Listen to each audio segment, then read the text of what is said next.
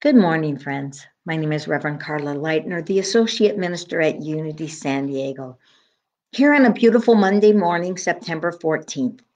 And I hope everyone is doing well this morning and ready to start a new week. So, I talked the other day about the six day prayer practice, which is a powerful, powerful practice. Now, I've been doing it, and thank you, Aline from our prayer ministry, and Julie, who sent me the digital version of that. Mine is copied from a book, so written on and scribbled on. Um, but I find it such a powerful practice.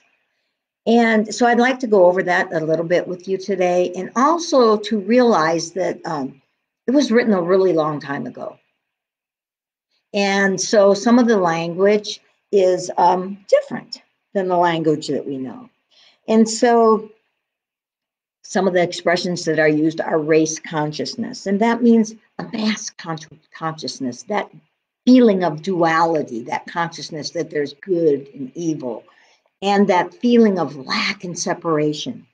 That's called the mass consciousness, or what we would call the Adamic from Adam consciousness. And so some of these words that mean something else in our time now, back then, that that meant something different. So, but it's so powerful. And I think whenever we feel that things are going all over the place, or we have questions, or we jump out of everybody falls out of their spiritual sense, there, that perfection. Everybody jumps into their humanness because we are here human. And for me, when I you know, lose my way or I start to, monkey mind starts to chatter, I remember I have to go back to the founders of Unity where I chose to become a minister and, and be my uh, and be here for my spiritual experience in Unity. I go back to our roots, our roots with Charles and Myrtle Fillmore, our roots in prayer, and what and metaphysics and what actually brought me to unity in the first place. And I feel like that's a grounding place. And so I'd like to share that grounding with you. Today's daily word is about grace and letting go and, and you know, not also uh, holding on to the consequences and the way that to an event and how it plays out. And then also plays in with the six day prayer practice today. So, again, I stress the importance of having a denial before you do an affirmation and just erasing, erasing those things that no longer serve us, just speaking that they no longer have a hold on our consciousness. Yes, things happen. We do get upset, but it's whether we stay relishing and reveling in that uh, that upsetness or whether it's just on our minds, you know, for a long time. Can I, you know, so I had a bad day and I said something I didn't mean. Is it going over and over in my head? And or can I let it go? Can I let it go? And realize that you can, you have to start again. Each moment is a new opportunity to remind ourselves of the Christ presence, remind ourselves of that presence of the God of our understanding within us, and to remind ourselves that there is a better way, there is a spiritual way. Reverend Edith talked yesterday about going home, not going home to where we lived, although that was part of what she talked about, but going home within. Because when we look for where we are truly at home. That hole within that so many of us have felt. I call it our God hole. And that's where we need to go to find who we truly are and to become grounded. So, today, friends, I'd like to go over this six day prayer meditation for Monday. So, here's our denial I denied I am no longer foolish or ignorant, and the foolishness and ignorance of ancestry can no longer be visited upon me.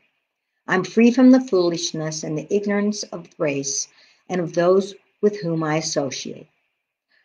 The foolishness and the ignorance which may have been treasured up by my own understanding are now erased.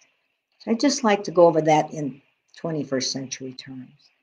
So, to me, this says that those ingrained things that no longer serve me, the things that my parents believed, that their parents believed, and things that they ingrained in me that no longer serve me, I'm ready to release them. And I'm ready to release those who are on their own journey and their journey does not serve me. I'm ready to release and let go that which is not to my highest good.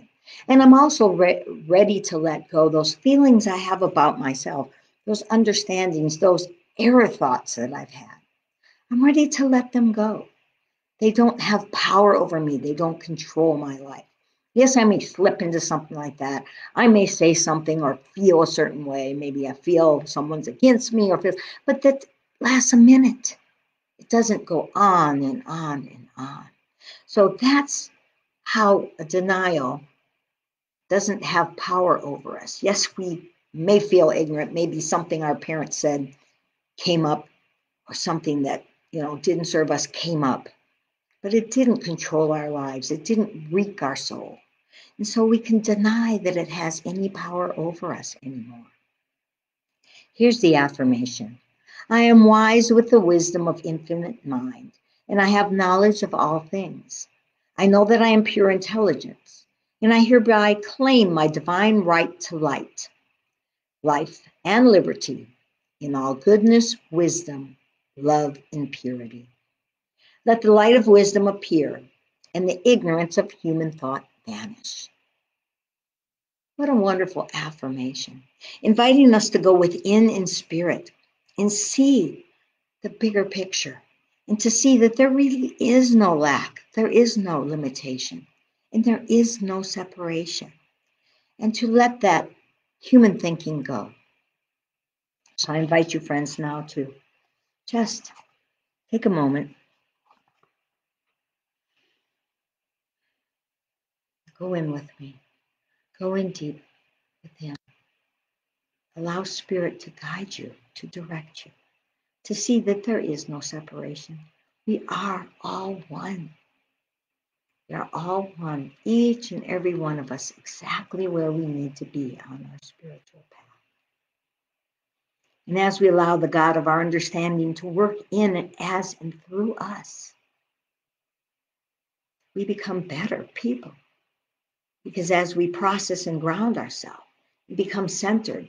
That centeredness, that peace, that security and love, it starts to show in our lives with a calmness, with a, with a confidence, with a love that comes from deep within. And it's so refreshing, so refreshing to be able to stop, pause, and center at any time. So let's take a moment to go within. I invite you now to set aside anything you're holding in your hands, anything you're holding in your consciousness. Wiggle out a bit.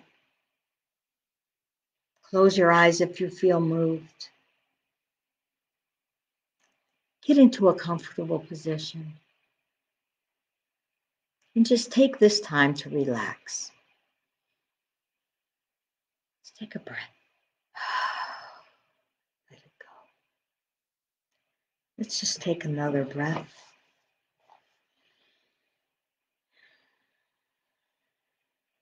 Let that go too. Releasing any of our worries, any of our to do lists, anything that might be stressing our mind. Letting go of any outcomes, knowing that Spirit, the God of our understanding, divine order, is putting everything in place, allowing us to let that flow within us. As the stream flows over the rocks in the, in the little pond, in the little lake. Water flows, and we just flow with it knowing that we might bump up against, against some rocks. But if we allow Spirit to do that, to handle things, if we give our burdens and allow Spirit to lead the way, we don't have to hold that burden. You don't have to hold those error thinking, those thoughts lack and limitation. We can let them go. We can give it all to the God of our understanding.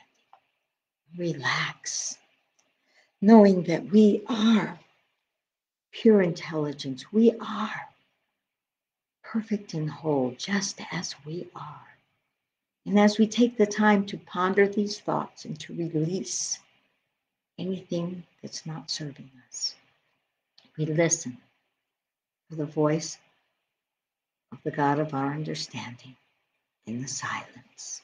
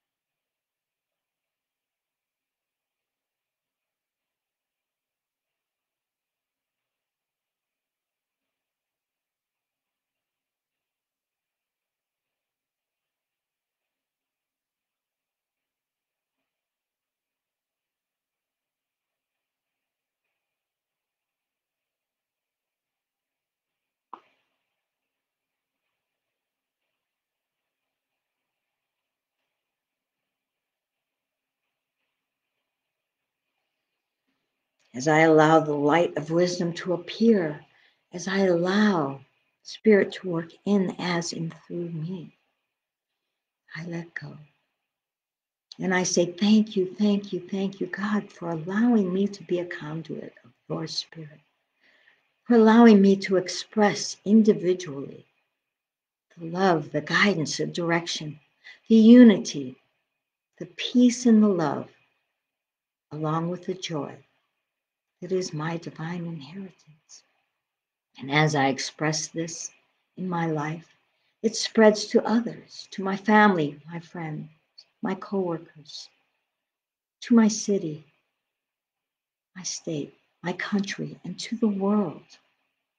We know that we are exactly where we need to be as we flow and let God work through us with ease and grace. And we say, Thank you, thank you, God. So it is. Amen. I invite your friends to wiggle out. Take a breath and come back to the present. Knowing you can access that inner guidance at any time with a breath. Anytime during the day. You don't have to wait until you have a problem or an issue. You can start your day in the silence, and you can end your day in the silence with peace and with gratitude, focusing on the positive, focusing on unity and oneness, and focusing on the blessings that you want the universe to bring into your life. Thank you so much for joining me today. Have a wonderful Monday and rest of the week. Namaste.